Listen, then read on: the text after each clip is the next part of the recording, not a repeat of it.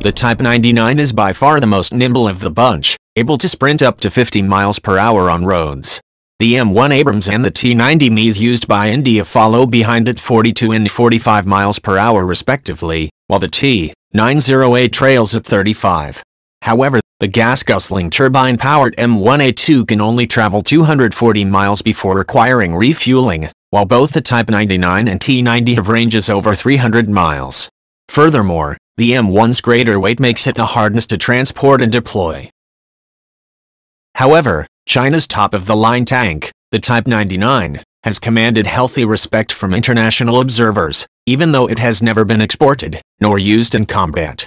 The reason is simple, the reported performance parameters are equal to many top Western designs, and the Type 99 also packs a few unique tricks of its own.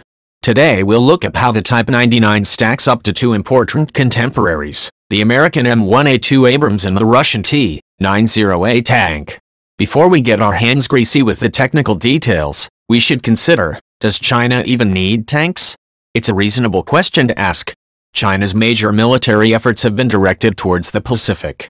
Some might ask, how likely are the U.S. Army's M1 Abrams tanks ever to clash with the Type 99? To which one should consider, can either vehicle swim across the Pacific Ocean and exchange shots over Scarborough Shoal? Kidding aside, it seems a pretty unlikely except in amphibious invasion scenarios fit for Operation Flashpoint computer games.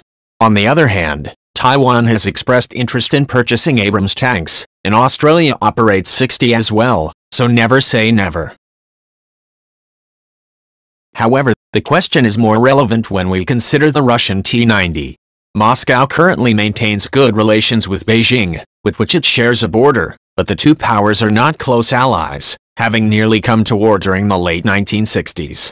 Most importantly, Russia is selling its weapons to India and Vietnam including systems which are quite clearly earmarked to oppose the Chinese military, such as the BrahMos cruise missile, and, well, over 1,000 T-90 tanks, many of which are deployed along its Himalayan border. China fought a war with India in 1962 over that border, and another with Vietnam in 1979 to punish the nation for opposing the Beijing-backed Khmer Rouge regime in Cambodia. Vietnam would like to order T-90s as well. Today, the Chinese military persists in seeing India a potential future superpower as a threat, and has extensively militarized their shared border and built roads allowing heavy military vehicles to pass through the steep mountains. China is also allied with Pakistan, which has repeatedly warred with India, and occasionally transfers military technology to it.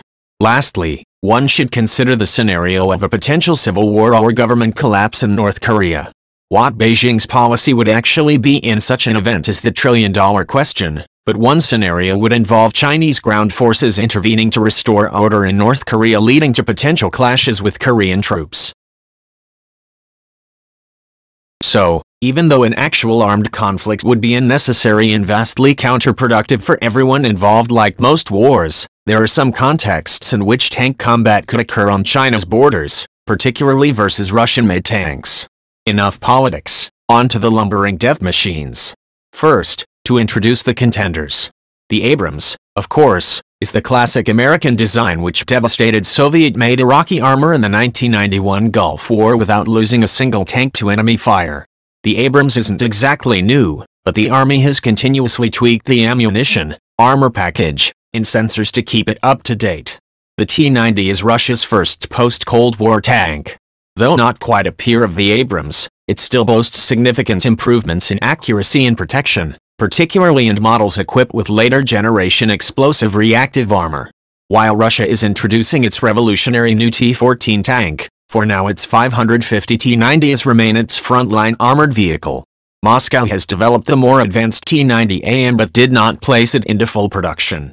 However, 354 of the similar T-90 Ms export variant have been sold to India for deployment on its border with China. In total, India has over 1,200 T-90s, while Algeria eventually intends to operate over 800.